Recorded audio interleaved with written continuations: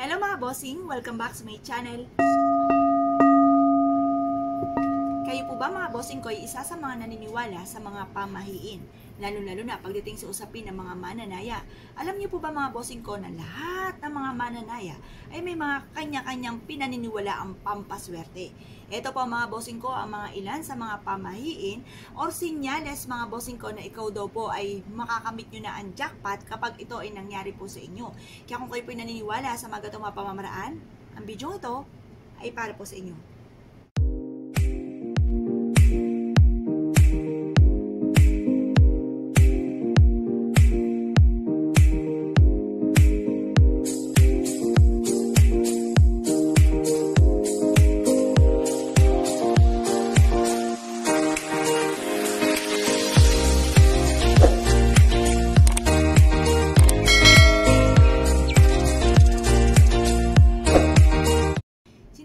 Nila mga bossing ayon sa mga pamahiin, kapag daw po ikaw mga bossing ko ay nananalangin na ikaw po ay makatama ng malaking halagang pera or kasalukuyan nagkukwentuhan kayo nakakilala ninyo at, sabi, at sinabi nyo daw po na mananalo ko ng malaking halagang pera at bigla po ang butiki ay nagtiktik na nagtiktik na nagtiktik.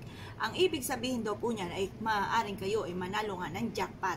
Parang sinasang-ayunan ka ng butiki. Ayon sa pamahiin, kapag ang butiki ay nagsasalita or tiktik ng tiktik mga bossing ko ay sinasang-ayunan ka na ikaw ay maaaring manalo or kung ano may sinasabi nyo, sumasang-ayon siya na maaaring ikaw daw po ay tama. Ngayon po mga bossing, ang, ayon din sa pamahiin, kung ikaw daw po ay tataya at ikaw po ay ah, biglang may sumalubong sa inyo na itim na pusa, baka kayo ay matakot at sabihin nyo baka hindi kayo manalo kasi nakais, nakakita kayo ng itim na pusa, diyan kayo nagkakamali mga bossing dahil sinasabi po nila, once na may sumalubong sa iyo na itim na pusa sa inyong dadaanan at ikaw ay tataya, huwag ka na magpapatumpik-tumpik pa tumaya ka na dahil maaaring ikaw ay manalo ng jackpot. Yun ang sabi po nila. Kaya kapag ikaw ay nakakita ng itim na pusa, habang ikaw ay naglalakad at ikaw po ay pataya, huwag na magbago isipan, tumaya ka na dahil maaaring ikaw ay manalo ng jackpot. Ganon din daw po mga bossing ko kung ikaw daw po ay ah, naglalakad at ikaw ay ah, kahit hindi ka patataya at naglalakad ka, nakasalubong ka daw po mga bossing ko ng buntis, ura-urada, tumaya ka kasi maaaring ikaw ay manalo ng jackpot or may swerteng darating sa inyo or ang pera nyo ay madodoble. Kumbaga, blessing daw po yung buntis. Pero sabi po nila, bago ka tumaya, halimbawa may giraw ka kakilala, buntis po siya. Eh ngayon, aalis ka na ng bahay mag-wish ka daw sa tiyan. Kung papayag siya na magpahipo ng tiyan. Kasi, syempre, pag buntis ka, lalo-lalo na baka mabalis ka pa, medyo sensitibo po yan. May mga tao na, lalo na naniniwala sa mga ganon, baka hindi magpahipo ng tiyan. Pero, kung hindi naman iba sa inyo, at ang taong ito ay bigla mong nakasalubong, yung biglang nakasalubong ha, or kaya pwede rin naman yung mag-wish ka sa buntis kung ikaw ay tataya mga bossing. Yun nga po sabi nila, lalo na kung bigla mong nakita ang taong ito at buntis, uh, medyo kunyari ka, kamus-kamustahin mo yung tiyan niya, pero sa baga nagwi-wish ka na na ikaw ay manalo ng jackpot. Ganun po mga bossing. Basta pagdating sa usapin ng buntis, swerte po yan sa mga mananaya.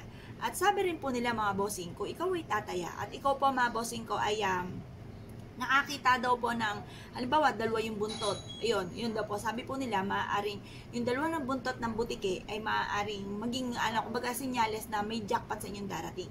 Or kaya, kung ikaw po ay isa sa mga mananaya at nakakita ka ng itim na langgam sa inyong puntahanan, mga bossing ko, maaaring may darating sa inyong swerte at sinyales na yan na maaaring magkaroon ka ng malaking halagang pera.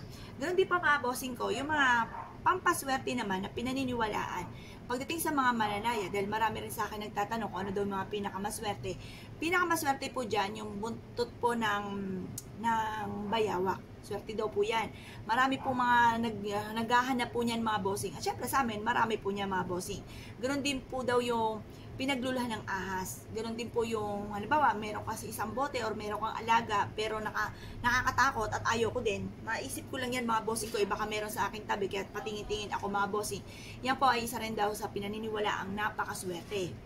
At yan po mga bossing ko ang, isla, ang ilan sa mga pinaniniwalaan na maaaring magdulot sa inyo ng swerte, mga pamahiin na maaaring kayo manalo ng tagumpay, lalo-lalo na sa inyo po mga tinatayaan. Kaya kung kayo po ay isa sa aking mga nabanggit ay nangyari yan sa inyo, good luck po sa inyo.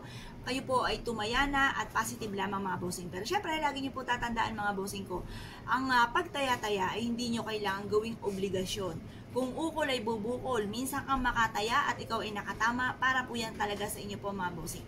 Huwag natin gawing obligasyon ng pagtaya-taya mga bossing. At syempre, kailangan din natin ng mga panghatak ng swerte kagaya na ating mga nabanggit mga bossing. Kaya kung isa ka sa mga kagaya na aking mga nabanggit eh meron, good luck po sa inyo po lahat. Yun po mga bossing, salamat po.